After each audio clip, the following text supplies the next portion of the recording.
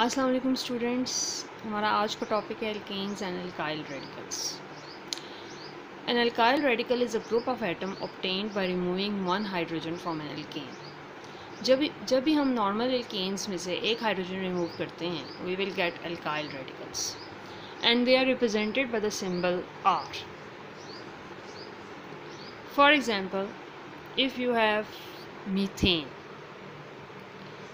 methane का molecular formula होता है सी एच फोर जब हम मीथेन में से एक हाइड्रोजन रिमूव करेंगे then you will we will get methyl radical this radical is called as methyl radical alkyl radicals की एंडिंग हम वाई एल से करते हैं। फॉर एग्ज़ाम्पल अगर हम मीथेन में से एक हाइड्रोजन रिमूव कर देते हैं, अब इसकी वैलेंसी तो सेटिस्फाइड नहीं रही बिकॉज़ कार्बन की वैलेंसी होती है फोर तो जब हम कार्बन की वैलेंसी को डिस्टर्ब कर देंगे तो its valency becomes dissatisfied and it will convert into radical which is called as methyl radical similarly if we have ethane the molecular formula for ethane is C2H6 we can also write it as like this. So, when we remove one hydrogen from ethane, जब हम इसमें से एक hydrogen remove करेंगे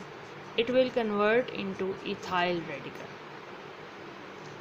ये ethyl radical में change हो जाएगा। दिस इज़ ये ऊपर वाला हमारे पास आया है मिथाइल रेडिकल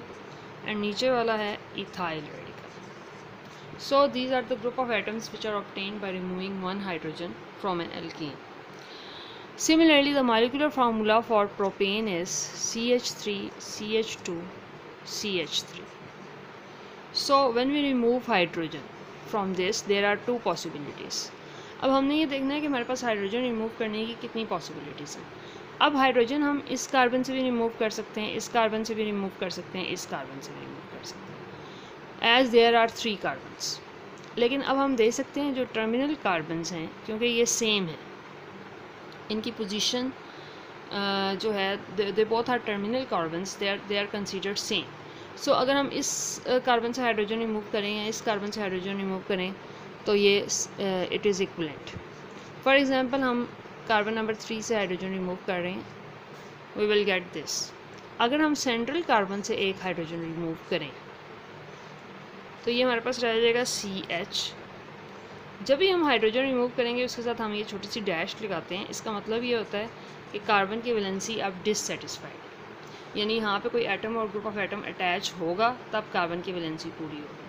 इसी तरह हमने ऊपर भी यहाँ पे मैंने आपको नज़र आ रही होगी छोटी सी मैंने डैश लाइन लगाई है। इसका मतलब ये है कि कार्बन की वैलेंसी यहाँ पे पूरी नहीं सो so, जब हम प्रोपेन में से हाइड्रोजन रिमूव करेंगे तो ये हमारे पास आ जाएगा इस रेडिकल का नाम होता है एन प्रोपाइल रेडिकल लेकिन अगर हम इसमें से रिमूव करेंगे सेंट्रल कार्बन में से this is called as isopropyl radical क्योंकि this is central carbon so methane में से आपने हाइड्रोजन रिमूव किया you will get methyl radical ethane में से हाइड्रोजन रिमूव करेंगे you will get ethyl radical propane में से हाइड्रोजन रिमूव करेंगे तो टू पॉसिबिलिटीज़ होंगी you will get N propyl radical and isopropyl radical similarly in your book you are given the self assessment exercise 11.5 derive alkyl radicals from the following alkanes ethane butane and propane. अब ethane और propane के तो आ, हमने कर लिए हैं तो हम सेकेंड एग्जांपल ज़रा कंसीडर करते हैं दैट इज़ ब्यूटेन अब आप देखें आपके पास है ब्यूटेन ब्यूटेन मैंने आपको पहले भी बताया था कि ब्यूटेन का मॉलिकुलर फार्मूला होता है C four H ten so जब हम ब्यूटेन के स्ट्रक्चर्स आइसोमर्स ड्रॉ करते हैं तो अब आप ये देखें C H three C H two C H two and C H three this is its structural formula condense structural formula so butane के बेसिकली टू आइसोमर्स होते हैं। एक को हम कहते हैं एन ब्यूटेन जब हम इसको स्ट्रेट फॉर्म में अरेंज करते हैं this is called as N butane और अगर हम इसको ब्रांच्ड ब्रांचिंग शो करेंगे इसकी it also contains four carbon and ten hydrogen तो इसको भी हम ये भी ब्यूटेन का आइसोमर ही है, इसको हम कहते हैं isobutane so N butane and isobutane isomers of butane तो इसका मतलब ये है कि हमने जब इसके अल्काइल रेडिकल्स फॉर्म करने हैं तो हम एन ब्यूटेन में से भी फॉर्म करेंगे और आइसो ब्यूटेन में से फॉर्म करेंगे. अब हम इसको किस तरह फॉर्म करेंगे? तो इसके लिए हम, इसको अंडरस्टैंड करना बहुत ज़रूरी है. For example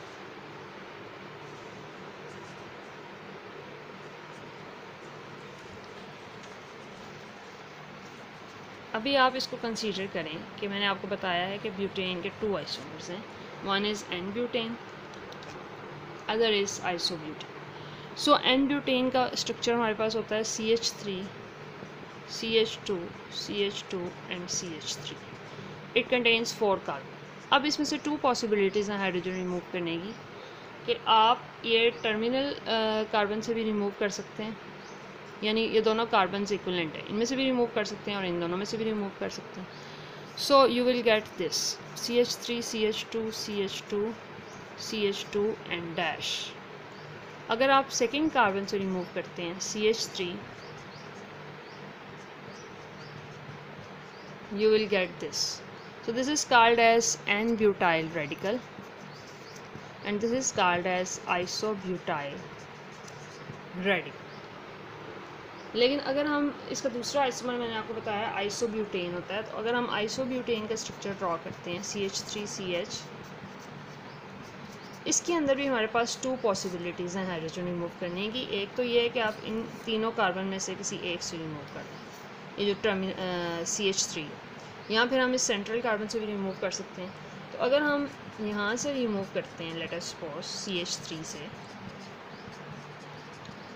we will get this ready this is called as is this is also called as isobutyl radical.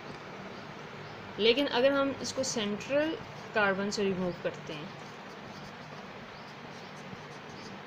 तो हम इसको टर्शरी ब्यूटाइल रेडिकल कहेंगे। टर्शरी ब्यूटाइल का मतलब ये होता है because this carbon is directly attach with three carbon that's why it is tertiary carbon तो टर्शरी कार्बन से जब हाइड्रोजन रिमूव करेंगे तो इसको टर्शरी ब्यूटाइल रेडिकल भी हम कह सकते हैं। This is called as this is also called as isobutyl radical so radicals has different names but if you don't remember the names of these radicals you should make the correct molecular formula of this अगर आप इनके names याद नहीं रख सकते तो आपको इतना याद होना चाहिए कि आपने कंडीशंस क्या अप्लाई करनी है, आपने हाइड्रोजन कहाँ से रिमूव करनी so we can from the butane there are two isomers of butane and butane and isobutane and we can form alkyl radicals from both of this isomers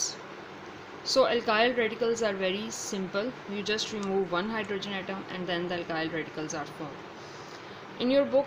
there is given the self-assessment exercise 11.5 solve this self-assessment exercise 11.5 in your notebooks